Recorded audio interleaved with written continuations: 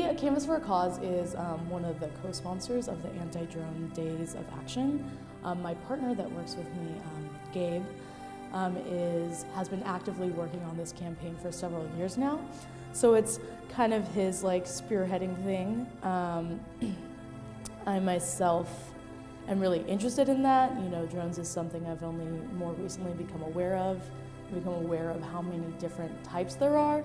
So it's not just like this one type that's in the sky, you know, there's the ones that are over us for surveillance reasons, border security, all that sort of thing. And for me, I really want to, why I'm really interested is to bring awareness to the idea that this isn't something that just happens outside of here. This is happening and going to be happening in a lot more crazy ways in the next coming years. Every Thursday, there is a kind of like awareness rally event um, outside of General Atomics up in Escondido, and it's led by the group Veterans for Peace.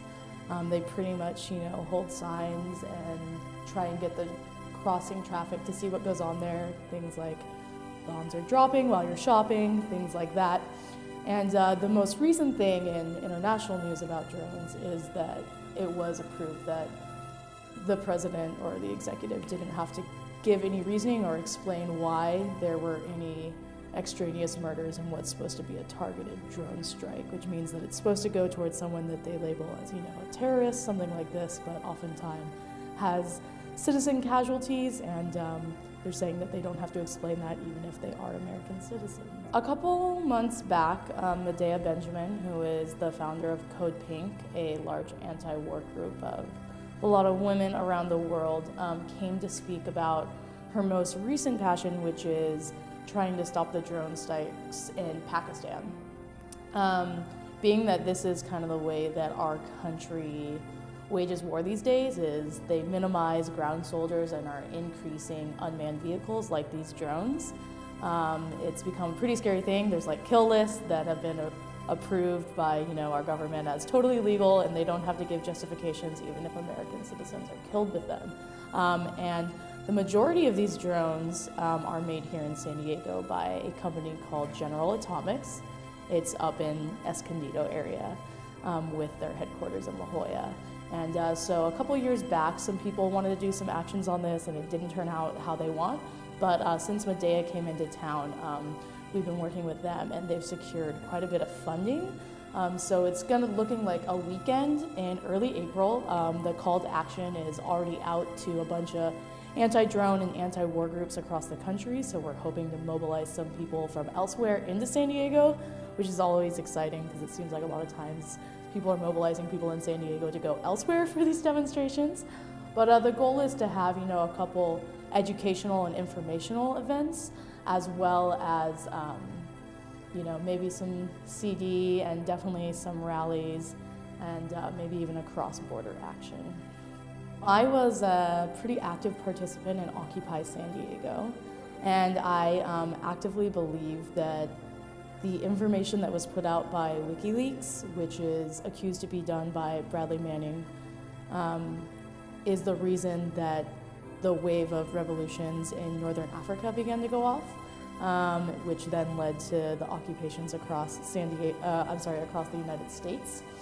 Um, so Bradley Manning, you know, was in the military and he's working with information and he sees all these awful intelligence details. And what he does is he says, I think that everyone has the right to know what's going on so that they can make an informed decision for themselves. And if they don't have this information, how are they supposed to accurately judge?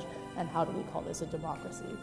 Um, which I totally believe in. You know, went out WikiLeaks, there's all the crazy stuff going on with that. Um, but he has since been in protective custody, um, you know, held in different private prisons and uh, different fort prisons, so like military prisons.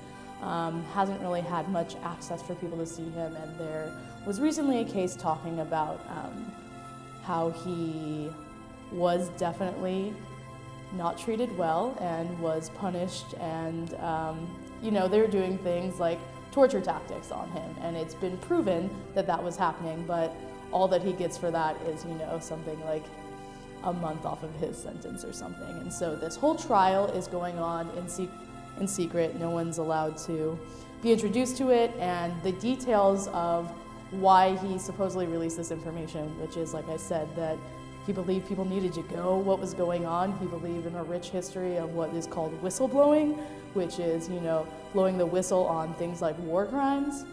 And um, unfortunately, he's being punished for it, and a lot of people don't even know who he is. Um, and specifically within Canvass for a Cause, one of the reasons why we're so interested is that some of the chat logs released between him and his friends show not only was he gay, but that he actually may be questioning his gender identity. Um, we're a very strong trans rights group, so one of the things we're trying to do through this is have teach-ins on about his gender.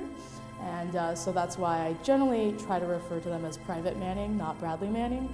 Um, I don't want to refer to them as another name that has been seen because I don't know if he wants the whole world to refer to them as that or if they were just telling that to their friend who's the only person they were able to talk to. But the whole idea of him being an LGBT hero is something that we really pride ourselves on at Canvass for a Cause and we always um, bring information and signs about him during our Pride celebrations.